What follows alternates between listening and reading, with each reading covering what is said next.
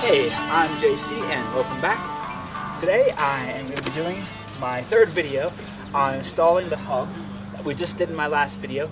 We're going to be putting on some brand new 12 inch tires. I'm going from 8s, get rid of those, to my 12 inch tires. These are actually, I'm going to for the size on here. These are 5, 5.30 12 inch tires. These were 8 inch 4.8 tires. And a lot bigger, sturdier, and stronger.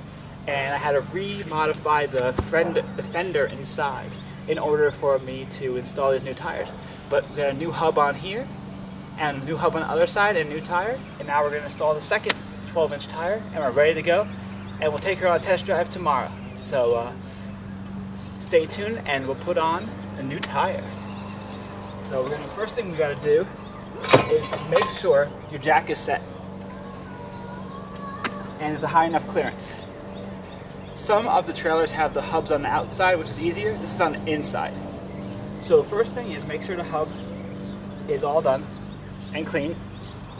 You have your tire, and be careful with this because it's a pretty heavy tire. You're gonna lift it up and try to balance it on all five lugs. Put it underneath.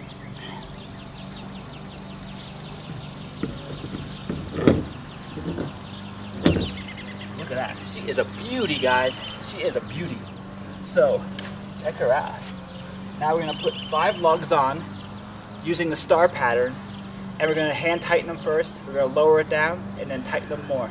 Because you can't tighten them fully when it's fully up on the jack, or it keeps spinning.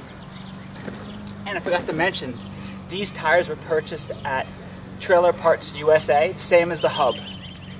And these tires were about $67 and some cents. I forget exactly how much, but they were close to $68 plus tax. But they're really good quality tires, guys. That's a good price, actually.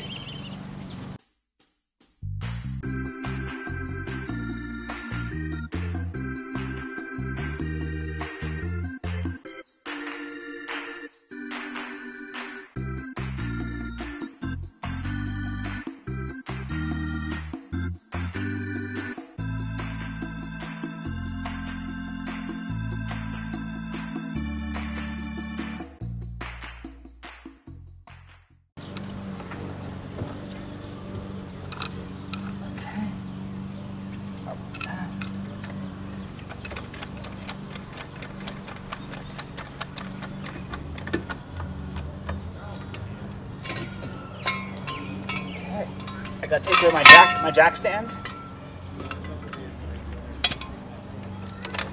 Lower her down.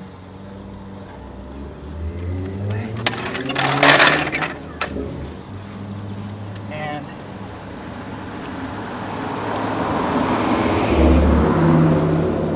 I'm gonna finish tightening the tire, but I'm gonna say that this is what we have right now. We have the brand new hub, brand new 12 inch tire, and I'm JC, and we installed a brand new tire from Trailer Parts USA and paid about $68 for it plus tax. So thank you very much for watching.